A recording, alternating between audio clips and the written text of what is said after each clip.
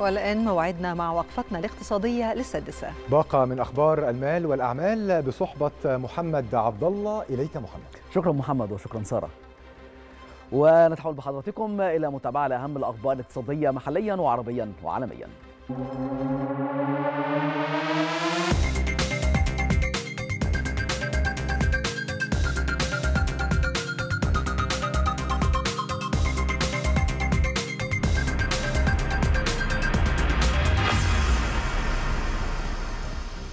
أهلا بكم. يشارك البريد المصري في منتدى الأعمال البريدي الذي ينظمه الاتحاد البريد البريدي الأفريقي الشامل بمدينة روشا بتنزانيا. وعلى هامش أعمال الجلسة الحادية والأربعين لمجلس إدارة الاتحاد البريدي الأفريقي الشامل تم عقد منتدى الأعمال البريديه للمدربين التنفيذيين للمؤسسات البريدية الأفريقية وكذلك منتدى وزراء الاتصالات الأفارقة. وقام البريد المصري بإهداء صالون فرعوني صنع في مصر كمساهمة في تأسيس مقر الاتحاد الجديد الذي سيتم افتتاحه بمدينة أوروشا تنزانيا في الثاني من سبتمبر المقبل بحضور رئيسة جمهورية تنزانيا سامية حسن.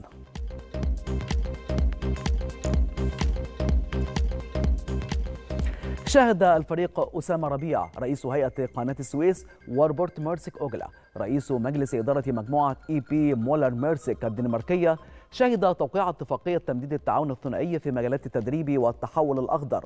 يأتي ذلك على هامش زيارة ربيع للدنمارك حيث بحث الجانبان التعاون في مجال بناء القاطرات البحرية وإعادة تدوير السفن. وعرب ربيع عن اعتزازه بخصوصية العلاقات المشتركة التي تجمع الجانبين مؤكدا حرص الهيئة على دفع العلاقات الثنائية نحو آفاق أرحب واستثمار العلاقات الممتدة لتحقيق المصالح المشتركة وخدمة المجتمع الملاحي الدولي. من جهتها أشاد رئيس الشركة الدنماركية بجهود هيئة قناة السويس نحو تعزيز دورها المحوري من خلال دفع العلاقات المشتركة مع كافة الأطراف الفاعلة في مجال المجتمع الملاحي الدولي.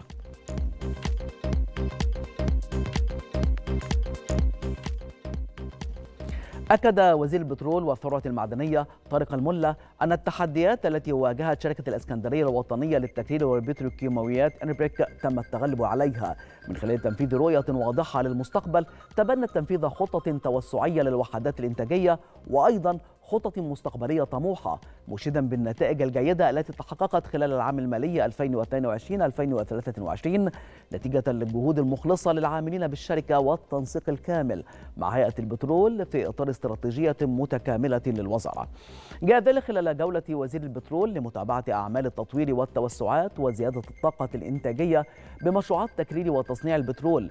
وتفقد الوزير شركة الإسكندرية الوطنية للتكرير والبتروكيماويات للوقوف على تقدم المشروعات الجديدة الجارية والمنفذة لرفع كفاءة الأداء وزيادة الإنتاجية خاصة من البنزين عالي الأوكاتين.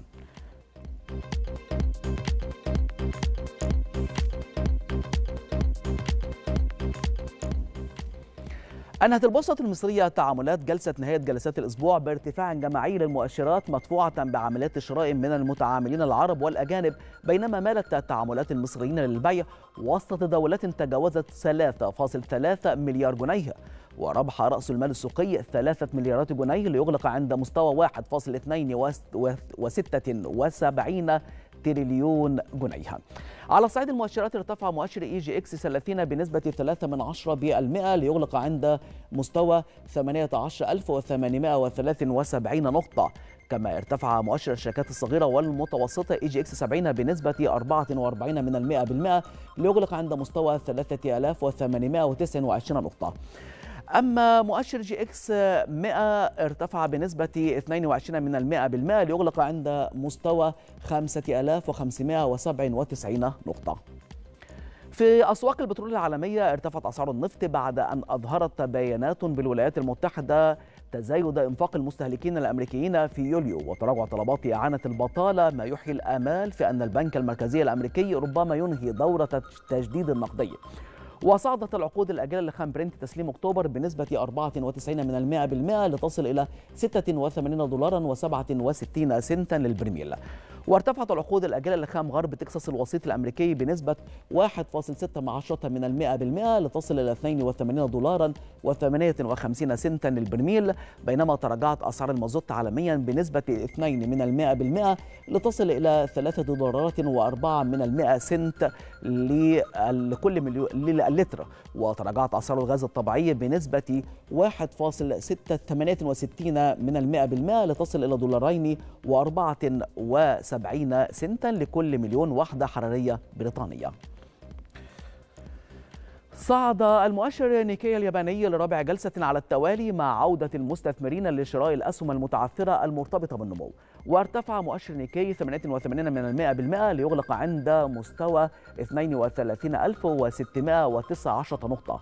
وصعد المؤشر توباكس الأوسع نطاقا 8 من 10 من المئة ليصل إلى 2332 نقطة.